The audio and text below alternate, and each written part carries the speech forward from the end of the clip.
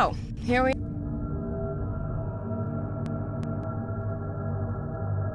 are. The scrapyard.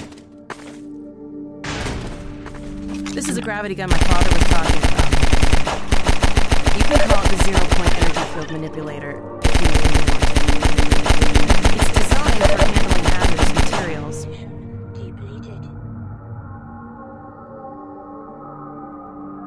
but we mainly use it for heavy lifting. Give it a try.